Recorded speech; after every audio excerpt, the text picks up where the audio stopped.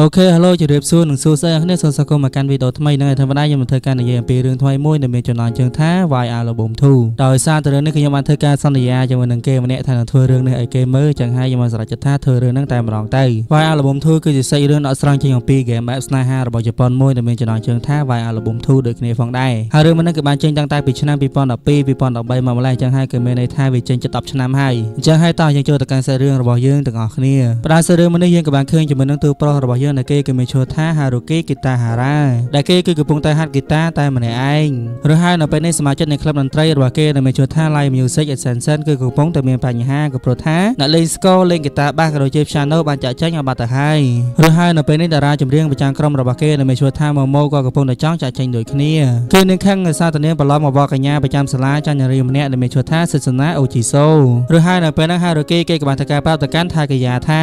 កុំព្យាយាមខកណាដែលគេចង់ចាក់ចេញបើសិនជាគេចង់នៅគេច្បាស់ជានៅបើសិនជាគេមិនចង់នៅនោះទេគេច្បាស់ជាបង្កើតហេតុផលជាច្រើនដើម្បីធ្វើការចាក់ចេញហើយណាមួយចែមុំមុំអ្នកនេះគឺចង្រៃខ្លាំងណាស់នៅក៏មិនបានជួយក្រុមអ្វីច្រើនដែរគឺមានតែបង្កបញ្ហាតែប៉ុណ្ណោះឬហើយនៅពេលនេះពួកគេក៏មានបញ្ហាផ្សេងមួយទៀតដែលត្រូវដោះស្រាយនោះគឺសិទ្ធិសេនានៅបានសម្រេចចិត្តថានឹងគឺមិនចូលរួមការប្រឡងរបស់កញ្ញាម្ដងទៀតនៅក្នុងឆ្នាំនេះឡើយហើយរគីគេក៏បានទៅជួបនាងសិទ្ធិសេនានឹងក៏បាននិយាយថាការពិតទៅនឹងគឺមិនចង់ចូលរួមការប្រឡងរបស់កញ្ញាប្រចាំសាលាអ្វីនោះទេគឺមិត្តភ័ក្តិរបស់នាងទៅវិញទេដែលជាអ្នកដាក់ឈ្មោះក៏ដូចជាអ្នកបង្ខំឲ្យនាងចូលរួមការប្រឡងមួយនេះហើយរគីនៅពេលហ្នឹងគេក៏បានដៀលទៅកាន់នាងវិញតែម្ដងថាទោះបីជានាងចង់ឬមិនចង់ក៏ដោយក៏ប៉ុន្តែនាងក៏បានឈ្នះពានរង្វាន់មួយនេះរយៈពេល2ឆ្នាំមកហើយបើសិនជានាងមិនចង់ចូលរួមទេហើយប្រកាសចូលប្រឡងទៅអីរយៈពេល2ឆ្នាំមកហ្នឹងនាងនិយាយបែបនេះទៅនាងបានគិតទៅដល់អារម្មណ៍មិត្តភ័ក្តិរបស់នាងក៏ដូចជាអ្នកគ្រប់គ្រងរបស់នាងដែលខំវោតដល់នាងដែរឬទេណាហើយចោលបើសិនជានាងមិនចង់ចូលរួមក៏មិនអីដែរក៏ព្រោះថានាងគឺជាពិធីបុណ្យប្រចាំសាលាដើម្បីធ្វើឲ្យអ្នកគ្រប់គ្នាសប្បាយចិត្តដូច្នេះហើយគឺគឺមិនចាំបង្ខំនាងធ្វើអ្វីដែលនាងមិនចង់ធ្វើនោះទេនិយាយទៅក៏ឲ្យហៅរគីមកជួយសាផ្សារក៏ប៉ុន្តែបែបនេះគឺមកដៀលយកតែម្ដងក្រោយពេលដែលគេបានធ្វើការដៀលទៅលើសិទ្ធិសនាអស់ចិត្តហើយនៅពេលនេះគេក៏បានវិលត្រឡប់ទៅកាន់ថ្នាក់តន្ត្រីរបស់គេវិញហើយគេក៏បានចាប់ផ្ដើមធ្វើការហាត់បទសម្រាប់ចិត្តរបស់គេតែម្នាក់ឯងដែលបទនោះគឺមានចំណងជើងថា Why Album ខណៈពេលដែលគេកំពុងធ្វើការហាត់បទមួយនេះតែម្នាក់ឯងនៅពេលនោះផងដែរគេក៏បានលើសំឡេង piano មួយបានធ្វើការបន្តពីក្រោយគេដែលនោះគឺជាមន្តអាកំបាំងរបស់គេម្នាក់ដែលតែងតែលេងបន្តពីក្រោយគេជារៀងរាល់ថ្ងៃក៏ព្រោះថាសាលារបស់គេនេះគេមានបន្ទប់តន្ត្រីចំនួន3ដែលនៅម្ខាងទៀតគឺជាបន្ទប់ថ្មីហើយនៅកន្លែងរបស់គេនេះគឺជាបន្ទប់សម្រាប់សិស្សទូទៅឬហើយបន្ទប់មួយទៀតនោះគឺជាបន្ទប់ឯកជនសម្រាប់សិស្សថ្នាក់ខ្ពស់តែប៉ុណ្ណោះដូចនេះហើយគេគឺមិនដឹងថាតើអ្នកលេង piano ម្នាក់នោះគឺជានរណាឡើយក៏ប៉ុន្តែទោះបីជាយ៉ាងណាក៏ម្នាក់នោះនៅតែបន្តលេង piano កំដរគេទោះបីជាគេលេងហ្គីតាដូចឈួតក៏ដោយឬហើយក្រោយពេលដែលគេចេញពីសាលានៅពេលនោះផងដែរគេក៏បានឃើញជាមួយនឹងស៊ីសូណានាងនឹងក៏បានធ្វើការតែងខ្លួនមិនឲ្យអ្នកណាស្គាល់នាងនោះទេឬហើយគេក៏បានជួយជាមួយនឹងមិត្តភ័ក្តិរបស់នាងដែលមានឈ្មោះថាមីស៊ូសាវ៉ាមីស៊ូសាវ៉ានេះក៏បានសួរទៅកាន់ហារគីថាម៉េចលងស្រឡាញ់មិត្តភ័ក្តិរបស់នាងមែនក៏ប៉ុន្តែនៅពេលនោះហារគីគេក៏បានតតទៅវិញថាមិនមែននោះទេគឺគឺគ្រាន់តែចាប់អារម្មណ៍ទៅលើនាងតែប៉ុណ្ណោះនៅពេលនោះផងដែរនាងក៏បានតតទៅវិញថានាងគឺជានារីដ៏ល្អម្នាក់ហើយនាងតែធ្វើទង្វើល្អទាំងអស់នេះហាក់ដូចជាព្យាយាមលាក់អារម្មណ៍របស់ខ្លួនឯងមិនឲ្យអ្នកដទៃដឹងអញ្ចឹងឬហើយថៃថ្មីក៏បានមកដល់នៅពេលនេះផងដែរស៊ីសណានឹងក៏បានមកជួបហារគីម្ដងទៀតហើយហារគីគេក៏បានសួរទៅកាន់នាងថាអេចែតនេអត់បើថាតនេណាមកជួយលើកឈើគេបន្តិចឬហើយនាងក៏បានយកព្រមថាឲ្យមនុស្សអត់លើកជាច្រើននៅទៅនោះក៏បានគិតថាញុយលើកឈើដូចគ្នាតែវាសនាខុសគ្នាគេមានស្អីស្អាតមកជួយលើកខណៈពេលដែលពួកគេទៅពីអ្នកកំពុងទៅលើកបណ្ដាក៏បានធ្វើការនិយាយគ្នាបណ្ដាផងដែរដែលសិស្សកានឹងក៏បាននិយាយថាអ្វីដែលហារគីនិយាយគឺត្រូវនឹងគឺមិនគួរធ្វើបែបនេះនោះទេនឹងគឺគួរតែគិតអំពីអារម្មណ៍ភ័ក្រក៏ដូចជាអ្នកគ្រប់គ្រងរបស់នាងក៏ប៉ុន្តែនាងក៏នៅតែមិនចង់ចូលរួមប្រកួតដដែលហើយនៅពេលនោះហារគីគេក៏បានតទៅវិញថាមិនអីនោះទេនេះគឺជាវិធីបនសាលាក៏ធ្វើឲ្យគ្រប់គ្នាសប្បាយដូច្នេះហើយនឹងគឺមិនចាំបាច់បង្ខំចិត្តធ្វើអ្វីដែលនាងមិនពេញចិត្តនោះទេសិស្សកានឹងក៏បានសប្បាយចិត្តហើយក៏បាននិយាយថាហារគីគឺគឺខុសពីអ្នកដទៃដែលគ្រប់គ្នាក៏តែងតែចាប់ទុកនាងគឺជា idol ប្រចាំសាលាក៏ប៉ុន្តែគេវិញគឺចាត់ទុកនាងត្រឹមតែជានារីធម្មតាតែប៉ុណ្ណោះក៏ប៉ុន្តែនៅពេលនោះហារគីគេក៏បានតទៅវិញថាគេគឺចាត់ទុកនាងជាមនុស្សពិសេសហើយឬហើយនៅពេលនោះនាងក៏បានសួរថាចាត់ទុកនាងគឺជាមនុស្សពិសេសហើយនាងមកជួយលើកឈើនឹងមែនឬហើយហារគីគេក៏បានតទៅវិញថាត្រូវហើយបើសិនជាគេចាប់ទុកនាងគឺជានារីធម្មតាគេគឺមិនហៅនាងឲ្យមកជួយលើកឈើនោះទេក៏ព្រោះថាគេមើលឃើញនាងគឺខុសពីនារីដទៃទៀតឬហើយនៅពេលនោះគេក៏បានដើរចេញទៅបាត់ទៅទៅឲ្យសិស្សនានឹងគឺនាងខ្វាច់បកាច់បកិនតែម្នាក់ឯងដោយសារតែនៅពេលនេះសមាជិកនៃក្រុមមន្ត្រីរបស់គេគឺមិនមានទីនទេដូច្នេះហើយហារគីនៅពេលហ្នឹងគេក៏បានសម្រេចចិត្តធ្វើការលុបកម្មវិធីតន្ត្រីចោលតែម្ដងឬហើយនៅក្នុងថ្នាក់របស់ហារគីគឺមានសិស្សស្រីម្នាក់ដែលនាងគឺចូលតែបង្រៀនគឺថានាងមករៀនដេករហូតតែម្ដងនៅពេលនៅផ្នែកហារគីគឺក៏បានធ្វើការនិយាយប្រាប់ទៅកាន់នាងថាថ្នាក់រៀនមិនមែនជាបន្ទប់គេបន្ទប់គេក៏មិនមែនជាថ្នាក់រៀនមិនសិនជានាងចង់គេងមែនតែគេងកែទ្រង់ឲ្យមានមកអច្រឡំបើសិនជានាងចង់គេងមែននាងតែគេនៅផ្ទះរបស់នាងទៅហារគីគេក៏បានទៅហាត់ហ្គីតាតែម្នាក់ឯងបន្តទៀតអ្នកលេង piano ម្នាក់នោះនៅតែបន្តលេង piano កំដរគេដដែលក៏ប៉ុន្តែនៅពេលនេះផងដែរគេក៏បានលើជាមួយនឹងសំឡេងដ៏ចម្លែកមួយ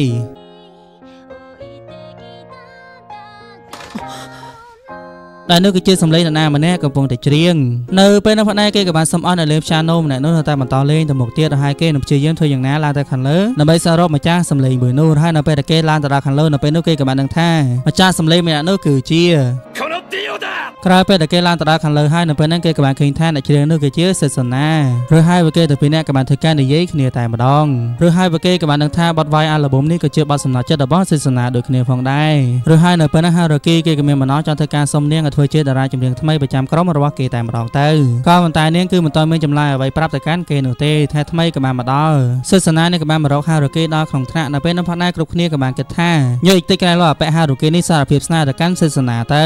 ឬហើយនៅពេលនោះពួកគេក៏បានទៅលួចស្ដាប់សេសនានេះក៏បានធ្វើការនិយាយប្រាប់ទៅកាន់ហារូគីថាក្រោយពេលដែលនាងបានស្ដាប់សំណើរបស់គេកាលពីម្សិលមិញនាងក៏បានគិតពេញមួយយប់រហូតនៅពេលនេះនាងបានសម្រេចចិត្តឲ្យថាចម្លើយរបស់នាងនោះគឺឲ្យនាងសុំទោសផងនាងគឺមិនអាចធ្វើវាបាននោះទេនៅពេលនោះផងដែរហារូគីគេក៏បានតបទៅវិញថាខ្ញុំទៅវិញទេដែលគួរតែនិយាយពាក្យថាសុំទោសខ្ញុំគឺមិនគួរទៅរំខាននាងនោះទេមិត្តភក្តិរបស់គេដែលបានលើហើយក៏បានគិតថាញុយអានេះសង្ហាប៉ុណ្ណឹងដែរសារភាពស្នេហ៍គេមិនស្រឡាញ់ហើយចោលតរអ្នកមើលមកដូចផ្ទះបាញ់ងាប់បាត់ណាមិនអត់លុតមួយជីវិតបាត់ដែរឬហើយនៅពេលដែលហារូគីឡើងមកខាងលើវិញនៅពេលនោះពួកគេក៏បាននិយាយថាកំខូចចិត្តអីឪពៅយប់នឹងចាំបងនាំទៅក្រៅអូខេអញរកតែអ្នកសិតសិតចឹងតើបានរកឡៃផឹកក៏ប៉ុន្តែហារូគេវិញគឺគឺមិនដឹងខ្យល់អ្វីនោះទេឬហើយពេលល្ងាចក៏បានមកដល់ហារូគេគេក៏បានទៅជួបសិស្សនានៅកន្លែងធ្វើការរបស់នាងតែម្ដងសិស្សនានេះក៏បានសួរទៅកាន់គេថាហារអ្វីបានជាគេមើលនាងស្គាល់ហារូគេគេក៏បានតបទៅវិញថាយីអញមនុស្សប៉ិនមនុស្សមើលមិនស្គាល់ក្រំពាក់វ៉ែនតាហ្នឹងហារូគេគេក៏បាននិយាយថាគេគឺមនុស្សស្មានឡាយក៏ប្រូថាអ្នកដែលចូលរួមប្រឡងបវរកញ្ញាប្រចាំសាលាពិចារណាក៏សុទ្ធតែជាកូនអ្នកមានចាស់ហារអ្វីបានជឿនាងមកធ្វើការបែបនេះទៅវិញតែគ្រួសាររបស់នាងមានបញ្ហាឬក៏ឪពុករបស់នាងឈឺមិនណាឬទេនៅពេលហ្នឹងសិស្សនានាងក៏បានទៅការតបទៅវិញថាគ្រួសាររបស់នាងគឺធម្មតានោះទេឪពុករបស់នាងក៏មានសុខភាពល្អដូចគ្នាផងដែរក៏ប៉ុន្តែគឺដោយសារតែគាត់ចង់ឲ្យនាងចូលរៀនឯសាលាឯកជនដូច្នេះហើយទើបនាងមានតរកលុយរៀនខ្លួនឯងតែប៉ុណ្ណោះហើយហារូគីគឺគឺមនុស្សស្មានថានារីសាមញ្ញម្នាក់នេះគឺជាអាយដលប្រចាំសាលានោះទេនៅពេលហ្នឹងគេគឺអស់ឲ្យនិយាយគេក៏ចង់ត្រឡប់ទៅវិញក៏ប៉ុន្តែនៅពេលហ្នឹងសិស្សនានាងក៏បាននិយាយថាឲ្យគេរងចាំនាងមួយផ្លែសិនហើយនាងក៏បានធ្វើការបញ្ញាបត្រទៅផ្ទះរបស់នាងវិញធ្វើការផ្លាកកៅអៅអង្គុយសិក្សាអូកាឡាធ្វើយ៉ាងណាដាក់ស្នេហ៍កូនកន្លោះគេអាចច្រឡំនាងក៏បានធ្វើការផ្លាស់កាអាយ៉ាងលឿនដើម្បីមកជួយជាមួយនឹងហារូគីម្ដងទៀតហើយនាងក៏បាននាំកូនកន្លោះគេទៅកន្លែងខារ៉ាអូខេមិនមែន private movie នោះទេរហូតនាងក៏បានធ្វើការច្រៀងឲ្យគេស្ដាប់តែម្ដងក្រោយពីនាងបានច្រៀងឲ្យគេស្ដាប់ឲ្យហើយនៅពេលនោះផងដែរនាងក៏បាននិយាយថាការពិតទៅនឹងគឺចូលចិត្តការច្រៀងខ្លាំងណាស់អ្វីដែលនាងនិយាយពីថ្ងៃនោះគឺមិនមែនជាការពិតនោះទេនៅពេលដែលគេបានធ្វើការស្នើសុំមកកាន់នាងនាងក៏ពិតជាសប្បាយចិត្តខ្លាំងណាស់ក៏ប៉ុន្តែនាងគឺគិតថានាងមិនតមានភាពក្លាហានគ្រប់គ្រាន់នោះទេ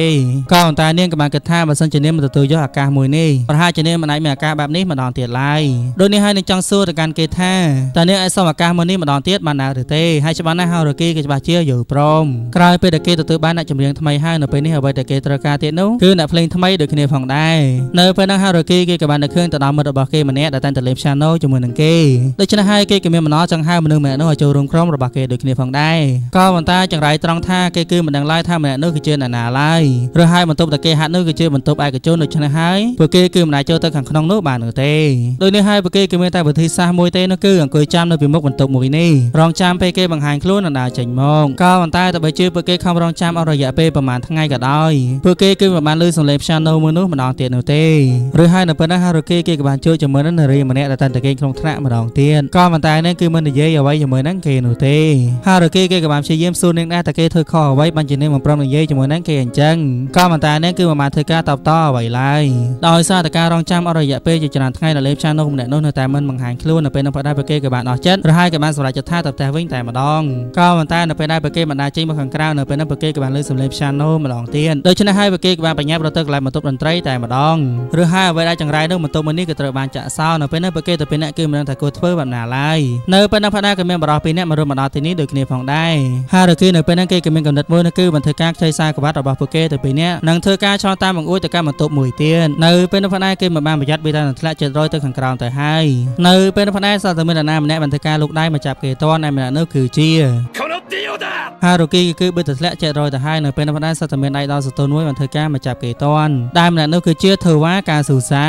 គឺជានារីម្នាក់ដែលតែងតែដេកនៅក្បែរគេនឹងឯងអានេះគឺជាកូនស្រីដែលលេបឆាណូដល់ល្បីម្នាក់ដែលមានឈ្មោះថាធ្វើវ៉ាយ៉ូកូគឺជាអ្នកលេបឆាណូម្នាក់ដែលបានឆាជើងឯកថ្នាក់ជើងក៏ដូចជាបានទៅសម្ដែងនៅឯប្រទេសបារាំងកាលពី3ឆ្នាំមុននិងដោយសារតែនាងគឺជាកូនស្រីអ្នកល្បីនឹងឯងចាធ្វើឲ្យនាងត្រូវបានគេចាប់អារម្មណ៍យ៉ាងខ្លាំងចាដែលធ្វើឲ្យនាងមិនចង់មកសាលានោះទេនិងដោយសារតែចរិតរបស់នាងបែបនេះគ្រូគឺមិនដឹងថាគួរធ្វើអាណាទៅកាន់នាងទាំងឡាយឬហើយពួកគេក៏មិនហ៊ានធ្វើការដេញនាងចេញដូចគ្នាដូច្នេះហើយពួកគេក៏មានតែធ្វើការបញ្ជូននាងមកកាន់សិស្សថ្នាក់ធម្មតានៅបានផ្ដល់បន្ទប់មនុស្សឲ្យនាងធ្វើការហាត់តែម្នាក់ឯងទៅឬហើយក្រោយមកហារ៉ូគីគេក៏បានទៅខ្ចីសោពេលនាយកសាលាដើម្បីចូលទៅនិយាយអូកាឡាធ្វើយ៉ាងណាហៅនាងឲ្យមកចូលរួមក្រុមរបស់គេក៏ប៉ុន្តែបែបនេះគឺនិយាយបែកបែកវ៉ាវ៉ាធ្វើឲ្យនាងខឹងកាន់តែខ្លាំងគេគឺមិនបានមកសុំនាងឲ្យចូលរួមធីមរបស់គេនោះទេបែរជាមកនិយាយអំពីរឿងអនាគតនិយាយអំពីរឿងអីចឹងទៅនៅពេលនេះនាងក៏បានតទៅវិញថាជីវិតរបស់នាងសោះគេខ្វល់ម្លេះហើយមិនស្មានតែនាងចូលរួមក្រុមរបស់គេហើយជីវិតរបស់នាងនឹងរីកចម្រើនមែនហ៎ដោយសារតែអបិមុនីនិយាយវ៉ាវ៉ានៅពេលផងដែរនាងក៏បានធ្វើការដេញអបិមុនីចេញទៅក្រៅបាត់ទៅឬហើយក្រុមបងហារគីគេក៏បានទៅប្រើសេសនាថាការបើទៅគេគឺមិនតរកបានអ្នកលេបឆាណូម្នាក់នោះនៅឡើយនោះទេក៏ប៉ុន្តែគេក៏តាមចិត្តឲ្យគេនឹងព្យាយាមធ្វើការហើយនេះឲ្យចូលរួមក្រុមរបស់គេឲ្យតតែបានក៏ប៉ុន្តែសេសនាវិញនេះគឺកំពុងតែអន់ចិត្តក៏ព្រោះថាអបិមុនីគឺរៀនជាមួយនឹងនាងហើយអង្គុយក្បែរនាងទៀតហើយថ្មីក៏បានមកដល់នាងក៏បានទៅថ្នាក់ហារូគីឬហើយនៅពេលនោះនាងក៏បានជួបជាមួយនឹងធូវ៉ាផងដែរក្រោយពេលដែលបានជួបជាមួយនឹងធូវ៉ាហើយនៅពេលនោះសេសនានាងក៏បានគិតថាញ៉ៃយពេនេះស្អាតក៏ស្អាតខ្ពស់ក៏ខ្ពស់សម័យតែភ្នំនឹងក៏ធំជាងនាងដែរឬហើយនៅពេលនោះនាងក៏បានសម្រេចចិត្តធ្វើការហៅធូវ៉ាទៅនិយាយគ្នាតែម្ដងសេសនានាងក៏បាននិយាយថានៅពេលនេះនាងបានចូលរួមជាមួយនឹងក្លឹប LMA ហើយហើយក៏មានមណោចង់ធ្វើការហៅធូវ៉ាចូលរួមជាមួយនឹងគ្នាផងដែរក៏ប៉ុន្តែធូវ៉ានាងក៏បានតបទៅវិញថា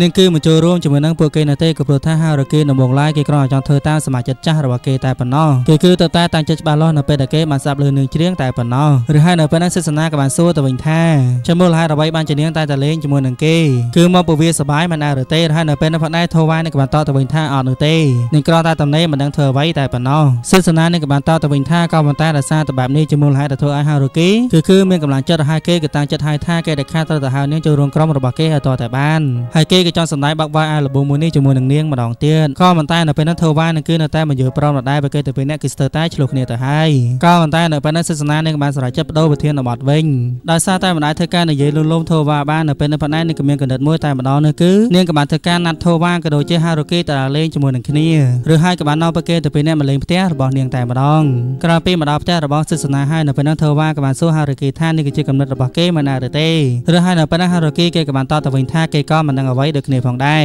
នៅពេលផងដែរសេសនានឹងក៏បានមកបន្ទប់របស់នាងហើយនឹងក៏បានយកអាហារជាច្រើនមកឲ្យពួកគេញ៉ាំដូចគ្នាផងដែរហារូគីគេក៏បានសួរទៅកាន់នាងថាតើនាងធ្វើអញ្ចឹងធ្វើអីនៅពេលផងដែរនឹងក៏បានតបទៅវិញថានាងគឺចង់ជួយគេដើម្បីឲ្យធវ៉ាឆាប់ចូលរួមក្រុមរបស់ពួកគេហើយណាមួយ3ឆ្នាំមកហើយមិនដែលមាននរណាម្នាក់មកលេងផ្ទះរបស់នាងម្ដងណាឡើយក្រោយពេលដែលពួកគេបានធ្វើការញ៉ាំអាហារហើយនៅពេលនោះផងដែរធវ៉ានាងក៏បាននិយាយថានាងគឺមកចូលរួមជាមួយនឹងពួកគេនោះទេក៏ព្រោះថាវាគឺជារឿងដែលមិនអាចទៅរួចក៏ព្រោះថាពួកគេគឺសល់ពេលមិនដល់មួយខែផងឬហើយទៅបីជានាងព្រមចូលរួមក៏ពួកគេមានតែពីរនាក់ដដែលហ្នឹងចុះអាណាអ្នកលេងស្គរអ្នកលេងហ្គីតាបាសទៅបីជាគេអាចរកបានក៏ពួកគេមិនមានពេលវេលាក្នុងការហាត់គ្រប់គ្រាន់ដែរពួកគេទៅពីរនាក់នៅពេលនេះគឺស្ទើរតែឆ្លោះគ្នាទៅហើយក៏ប៉ុន្តែនៅពេលហ្នឹងសេសនានាងក៏បានឲ្យពួកគេទៅពីរនាក់ស្ងាត់ក៏ព្រោះថាម្ដាយរបស់នាងក៏ដូចជាបងប្រុសរបស់នាងគឺកំពុងតែលួចស្ដាប់ពួកគេនិយាយគ្នាឬហើយក្រោយមកសេសនានាងក៏បានទៅការហៅបងប្រុសរបស់នាងឲ្យមកអង្គុយនិយាយលេងជាមួយនឹងពួកគេផងដែរសេសនានាងក៏បាននិយាយថាក្រោយពេលដែលនាងបានធ្វើការជ្រៀននៅលើដំបូលសាលាហើយហើយនឹងគឺពិតជាចង់ធ្វើការជ្រៀនបទនេះម្ដងទៀតជាមួយនឹងពួកគេទាំងពីរនាក់ខ្លាំងណាស់ក៏ប៉ុន្តែនៅពេលហ្នឹងនាងក៏បានលើសំឡេងឪពុករបស់នាងបានធ្វើការស្រែកហៅនាង